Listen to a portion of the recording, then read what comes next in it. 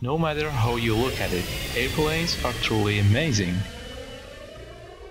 In this video, we're going to take a closer look at a medium-sized passenger jet, comparing it to other things to help us better understand how it works. I'm Yasin and welcome to the Animatec YouTube channel. First, let's talk about flying altitude. A seagull typically cruises at around 1000 meters for long distance flights.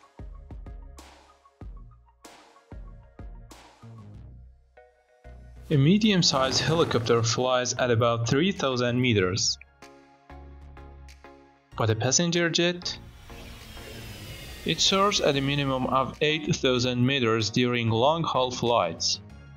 Now let's consider the weight of this flying giant. If we had a big enough scale, we'd find that a medium-sized passenger jet weighs around 42 tons, which is roughly the same as two Volvo trucks to generate enough thrust to lift that weight. The jet's engines consume a whopping 120 cubic meters of air every second. That's enough air for the average adult to breathe for 8 straight days.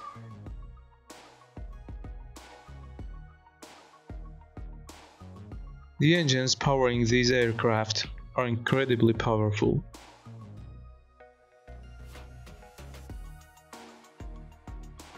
In fact, if you wanted to replace the engines with cars, you'd need around 56 Formula 1 race cars to provide enough thrust for takeoff.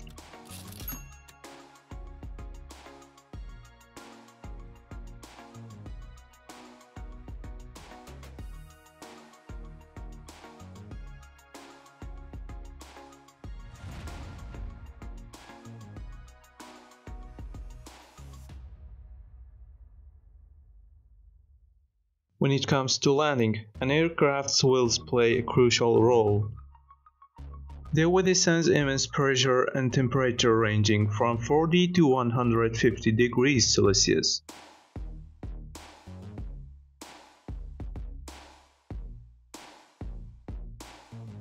To put things into perspective, the wheel of an Airbus A320 is 42 inches in diameter, compared to a Land Cruiser's 30 inches.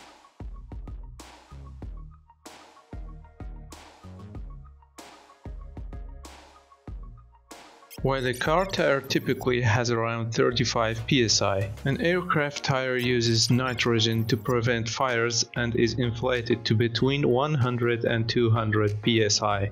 For added durability, a layer of aramid, a material also used in bulletproof vests, is incorporated into the tires.